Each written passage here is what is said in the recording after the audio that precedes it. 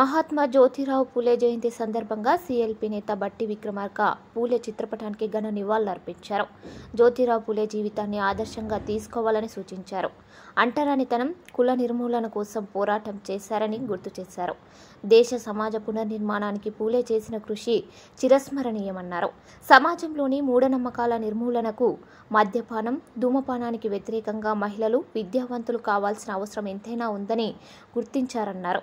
జ్యోతిరావు పూలే ఆశయాలు లక్ష్యాలు సిద్ధాంతాలు విధానాలు ఈనాటి తరానికి ఆదర్శప్రాయమన్నారు. శ్రీ మహాత్మా జ్యోతిరావు పూలే జన్మదిన సందర్భంగా యావత్ ప్రజానికి అందరికి కూడా జ్యోతిరావు పూలే గారి జీవితం మనందరికీ ఆదర్శంగా ఉండాలని చెప్పి ఈ సందర్భంగా మనందరం ప్రతిజ్ఞ చేయవలసినటువంటి అవసరం ఉంది. జ్యోతిరావు పూలే గారు కుల నిర్మూలన కోసం అంటరానితనం నిర్మూలన కోసం ఒక సామాజిక తత్వవేత్తగా ఈ దేశంలోని అనేక రుగ్మతలపై పోరాటం చేయటమే కాకుండా దేశంలో ఆ సమాజంలో సగభాగం ఉన్నటువంటి మహిళలను విద్యావంతులు చేయకపోతే ఈ సమాజం అభివృద్ధి చెందదని ప్రగాఢంగా నమ్మి బాలికల కోసం ప్రత్యేకంగా పాఠశాలలు నిర్మించడమే కాకుండా వారి ఉన్నతి కోసం వారి జీవితాంతం పోరాటం చేసినటువంటి గొప్ప మహనీయుడు శ్రీ జ్యోతిరావు పూలే గారు. ఆయన జయంతి సందర్భంగా వారికి వాళ్ళ ఘనమైనటువంటి నివాళులు అర్పించడమే కాకుండా వారి జీవితాన్ని వారు చెప్పినటువంటి మార్గాన్ని చూపినటువంటి మార్గాన్ని వారు చెప్పినటువంటి తాత్విక సామాజిక బోధనల్ని అన్నిటిని కూడా మనందరం పాటిస్తూ